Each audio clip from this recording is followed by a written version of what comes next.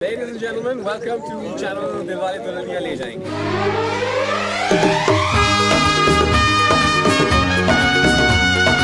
I was like in the film.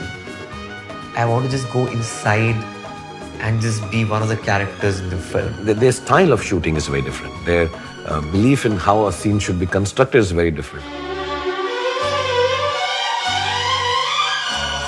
Oh my god, the breeze was supposed to be blowing this way, but the breeze was blowing in the wrong direction. And it was so hot. Yeah, I mean, that's been the defining film of our generation. Like, I can't even tell you, like, feeling is still alive inside me.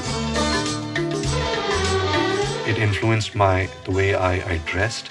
It influenced the way I spoke to a girl. ऐसा लगता है मैंने आपको कहीं देखा है It influenced how I was with my parents. Um, everything. Shava,